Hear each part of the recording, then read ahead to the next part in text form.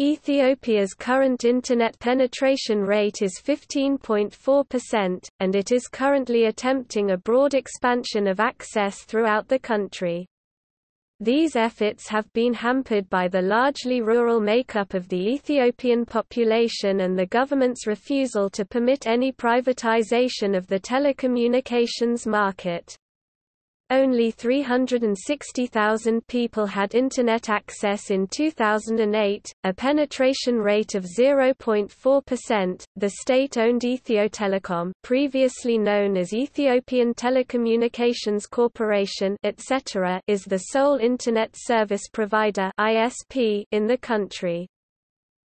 Internet cafes are the main source of access in urban areas, and an active community of bloggers and online journalists now plays an important role in offering alternative news sources and venues for political dialogue. However, three-quarters of the country's Internet cafes are in the capital city, Addis Ababa, and even their access is often slow and unreliable. A test conducted by a Media Ethiopia researcher in July 2007 determined that the average connectivity speed was 5 kbps and that Internet service in most cafes was unavailable between 10 and 20% of the time.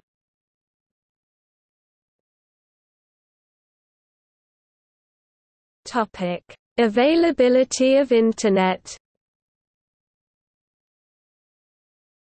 In 2005, Ethiopia announced plans to spend hundreds of millions of dollars over the next three years to connect all of the country's schools, hospitals, and government offices, and most of its rural population, to broadband Internet via satellite or fiber optic cable.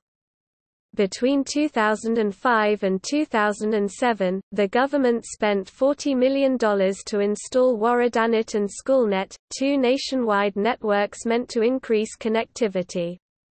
Woredanet provides email, video conferencing and Voice over Internet Protocol (VoIP) services to local governments, and Schoolnet provides streaming audio and video through a downlink-only VSAT very small aperture terminal satellite.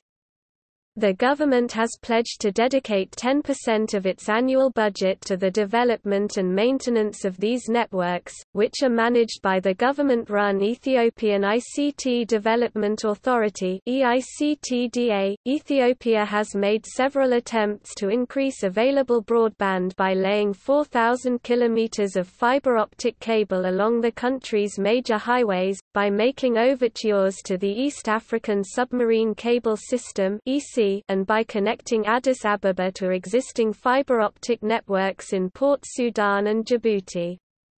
These ventures have had mixed success. The domestic network is not yet operational, though the government has promised to lay 10,000 more kilometers of cable by 2010. Once the cable has been laid, it is said Ethiopia will consider opening the network to a second, private operator.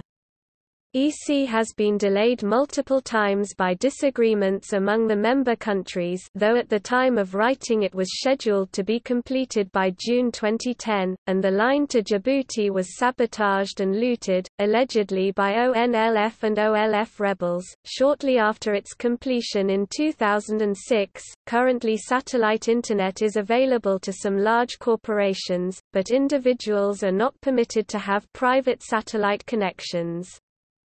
The etc. also bans the use of VoIP in Internet cafes and by the general population, though its website lists VoIP as part of the company's future broadband strategy. In 2014, the number of Internet users in Ethiopia had increased to 1,836,035, or approximately 1.9% of the population. In 2015, it had risen to 3.7 million, or 3.7%.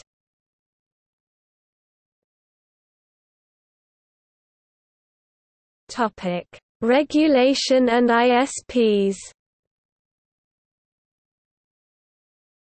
The Ethio Telecom and the Ethiopian Telecommunication Agency (ETA) have exclusive control of internet access throughout the country.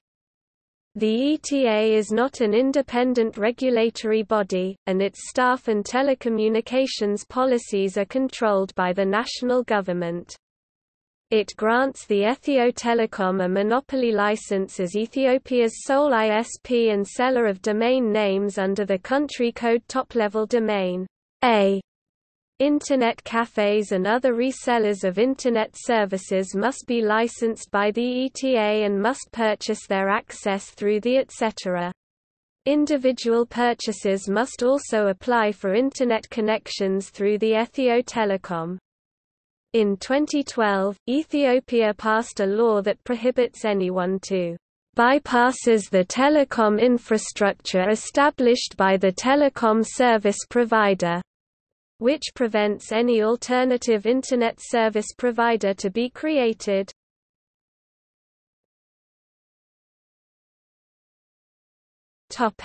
Censorship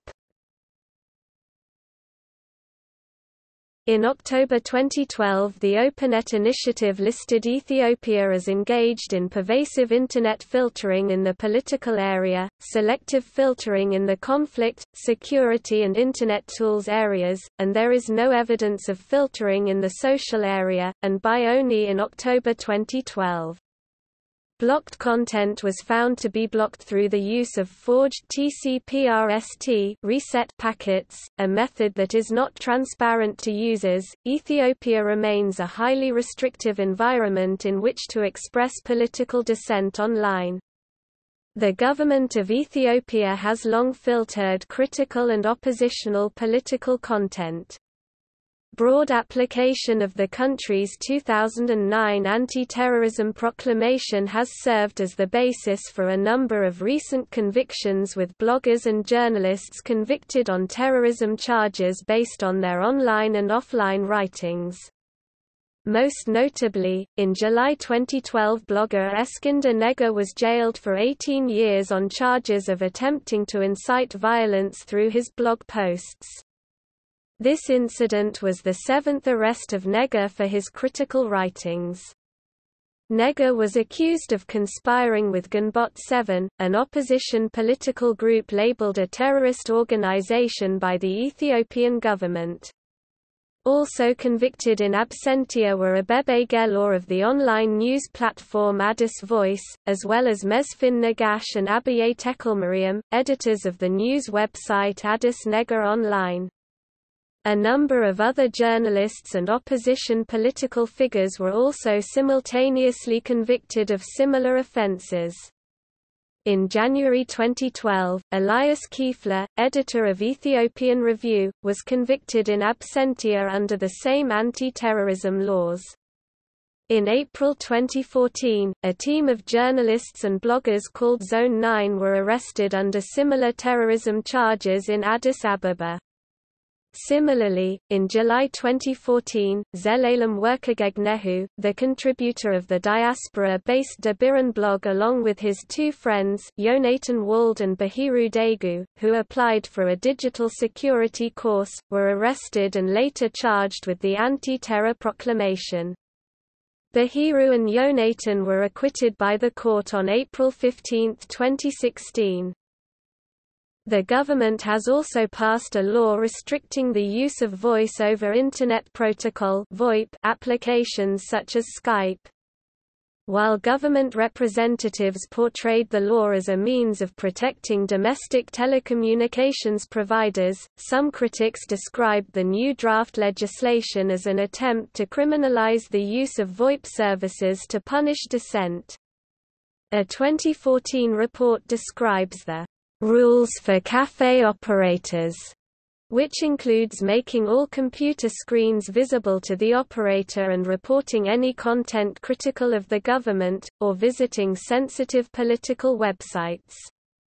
Other reports describe attempts by Ethiopia's sole Internet service provider ISP, Ethio Telecom, to restrict the use of tools to anonymize web browsing and circumvent Internet filtering. In May 2012, developers of the Internet Anonymizer software project Tor reported that the Ethiopian Telecommunications Corporation etc., Ethio Telecom had begun using Deep Packet Inspection DPI, to block access to the Tor service.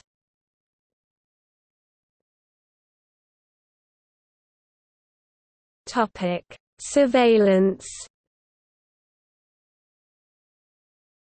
The Ethiopian government is engaged in extensive surveillance of Internet users both inside and outside Ethiopia.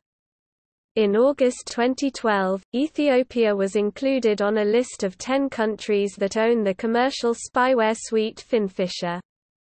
The Ethiopian government agency involved in surveillance and content blocking is called the Information Network Security Agency. In December 2006, the Ethiopian Telecommunication Agency began requiring Internet cafes to log the names and addresses of individual customers, reportedly as part of an effort to track users who engaged in illegal activities online.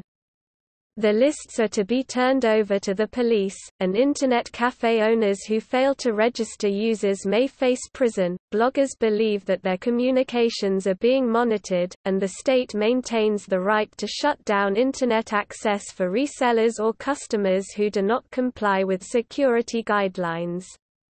The government has closed Internet cafes in the past for offering VoIP services and for other policy violations. A 2014 study by Human Rights Watch found extensive surveillance of the Internet and other telecommunication systems in the country. Ethiopian security and intelligence agencies can use Internet surveillance capabilities to access files and activity on a target's computer, to log keystrokes and passwords, and to remotely activate the device's webcam and microphone. The surveillance technology was provided by foreign firms, notably China-based ZTE, as well as Finfisher and Hacking Team.